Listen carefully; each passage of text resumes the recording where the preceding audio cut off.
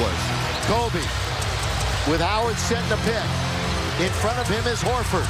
Bryant with 10 on the shot clock. Bryant to the dribble. Bryant attacks all the way. Scores! Lakers lead. Nine seconds left. Kobe drives and scores. He puts them in a position where they still have a chance as he attacks right at Josh Smith. Throws it up, throws it in, but nine seconds. Count them. Nine seconds to All right, a couple of things here. Remember when Kobe started one for four in the quarter? He now has 11 points.